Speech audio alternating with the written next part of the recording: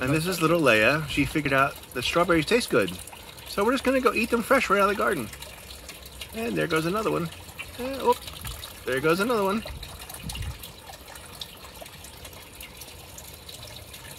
Are those good, Leia? Oh my gosh, that's too funny.